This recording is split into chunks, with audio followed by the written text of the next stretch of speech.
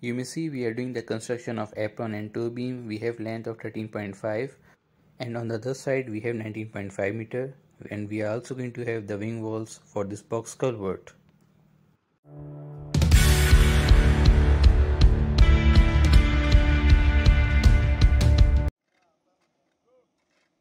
Hi guys, welcome to my YouTube channel. In this video I am going to talk about the construction of apron and the toe beam of a box culvert. You may see here that we have placed the reinforcement bars of toe beam and the apron. For the construction of this apron and toe beam, we have used Y12 and Y16 mm bars. Y12 are the runners while Y16 are the main bars. We have used the double mat of reinforcement bars as you can see.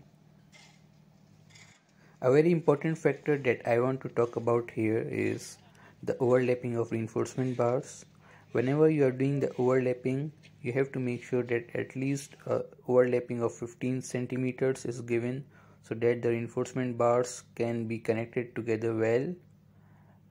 Also you have to make sure that the reinforcement bars of apron align together with the reinforcement bars of toe beam or you may say that they are connected together with the toe beam with the help of binding wire the top mat and bottom mat are separated with the help of horse bench. The total thickness of apron is 30 centimeters. The dimension of toe beam is 30 by 40 centimeters. So guys, I hope you liked today's brief video. If you have any questions, you may write in the comment box. Don't forget to subscribe to my channel.